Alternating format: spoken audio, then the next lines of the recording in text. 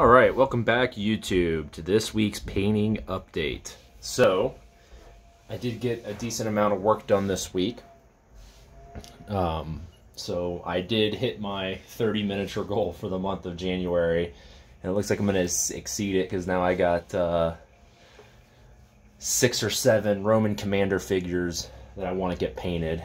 And I'm pretty sure three of them are on horses, three are dismounted. So it looks like I'll be able to get those painted up uh, this month as well, hopefully, and that'll that'll put me that'll be damn near a normal painting month for me. Uh, but yeah, so I got 16 Velites. These are from Relic Miniatures. Uh, half are with wolf pelts, half are not. Uh, normally, I would just show off some of the miniatures and call it a day on the video. But this week was a little eventful. I decided I wanted to try something that I normally don't do. Um, normally, I do a more yellow I've I've done flesh in a couple of ways in the past. I have a, a dark flesh uh, for Caucasian. This is all for Caucasian people, Europeans. Um, I have two different methods I've done flesh. One is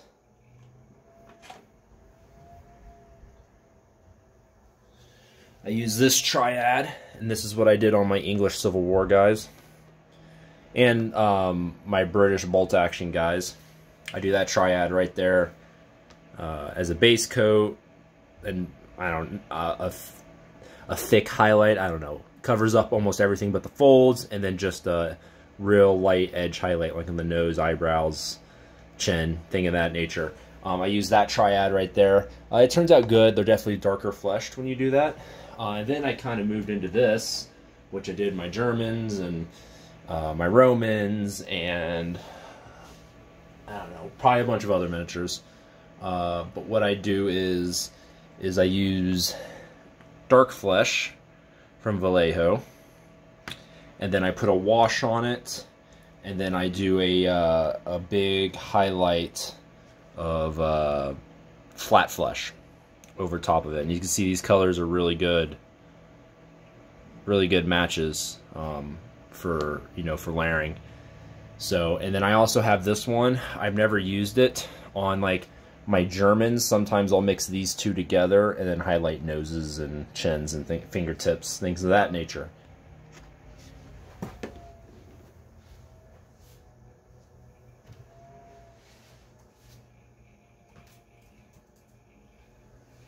But now that is what I normally do. I decided now those are more orange or yellow Caucasian fleshes. Um, so they're a little different. I don't know if you'd classify this as a orange or yellow based flesh, uh, but I'll just go with yellow and I'll show off what the, it normally does.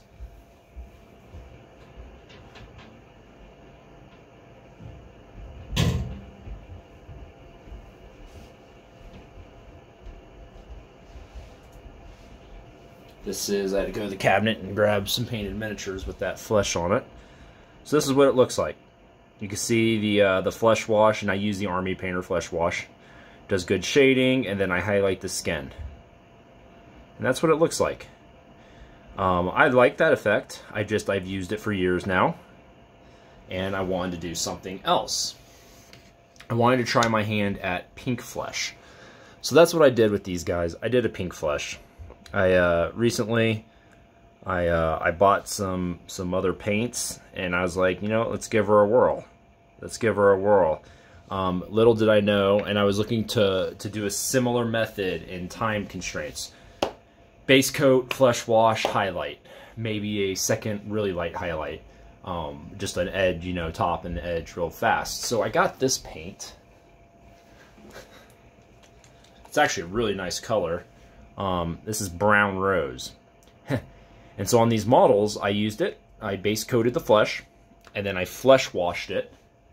And I came back, and they looked like Native Americans. Like straight up, like, like, like Navajo Native Americans, like from the Southwest U.S.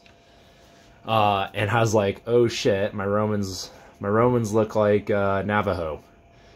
And so I uh, I took these two skin colors, and I started to mix.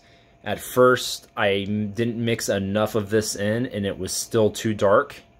Um, but essentially, I just, uh, I did several, I did uh, wet blending and layering with these two colors mixed in together. Obviously, at first, I, you know, it was like 50-50 or like 60-40, and then I, you know, then I'd add a little bit more skin, uh, the lighter basic skin tone in there uh, to lighten it up. But eventually, I did after doing two or three iterations of layering and building up color on the miniatures. I eventually did get the effect I wanted, um, which looks really nice from far away. You know, I obviously would not have uh, wanted to spend all of my time on skin on these figures like I did, but I wasn't happy with it, so I had to fix them. I just could not let them rest. And it ended up working out okay because this brown rose acts as a really good shadow base for skin, for Caucasian skin. But like I said, you're just going to have to mix it in with this bad boy and, and just layer it until you get the the look you're looking for. Luckily, you know, I understand wet blending and layering and all that, so I'm able to do that. And I, I obviously left the uh, shadow in the recesses of all the skin. So the effect turned out really nice. Uh, they, they look more Caucasian. This would probably be really good for Northern, Northern European guys. Not sure if I'll do it again on the on any of my Romans. Uh, maybe I'll reserve it for like my when I do Celts or you know you know Dacians or some Dacians, something like that. Uh, but yeah, they turned out. So I'll, I'll show some of the figures. I only have the hair and the shields left on them. But uh, like I said, some of them have wolf pelts. Just some nice, some nice velites. The figures aren't the best. They had a lot of cleanup. They didn't come with javelins, which is a huge pet peeve of mine. But uh, but yeah, I mean we got them painted. Um, I like the wolf pelt guys. I dry brushed to get the effect on the wolf pelt. I did two in black wolves and the rest were all a medium gray wolf. Um, most of them have helmets, some of them don't. Uh, I did a few with iron helmets. As you can see here, I got to do the tips of the javelins as well. But yeah, I mean, they, they turned out great. I mean, it's my first unit of 16 velites, so they're ready. I just need, like I said, do the hair and the shields and, and varnish them, and then they're going to be on the gaming table ready to go. So I met my quota this month, and you guys can judge, maybe in the comments, you guys can... Uh, judge which skin style do you like? My traditional Caucasian skin style there that I do or the new one I developed. And the whole reason why I did this, I, I, forgot what the impetus was for all this, was I was watching the Plastic Crack podcast and they were all making fun of, uh, I can't remember, one of the guys who just, who apparently just drowns everything in Agrax and he like, yeah, I guess he had an intervention moment and he's not using Agrax for like six months or something.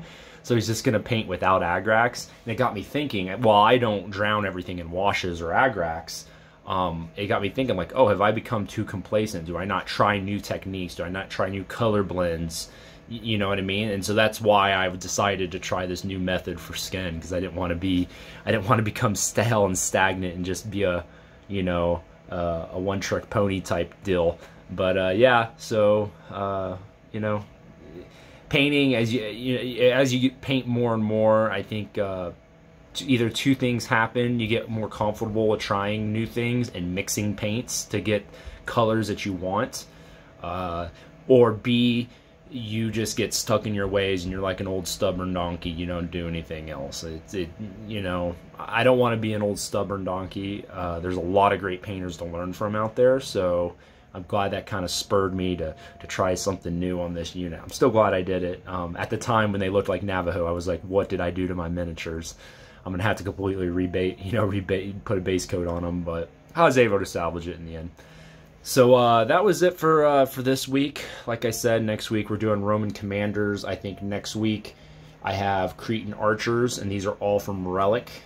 And then we'll go back into the Persians hardcore because uh, that will that'll get my Roman armies into a more respectable place. I'm not going to paint any more Hastati or Principes until they get re-released by Aventine.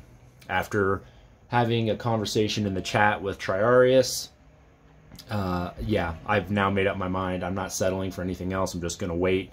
They say May, June. Their Romans are going. Their Republican Romans are going to be back, and I'm just going to buy my Hastati and Principe there, and and then finish out the last couple 24 man units I want to do for my Hastati and Principes. So, yeah, guys. Until then, uh, keep on painting.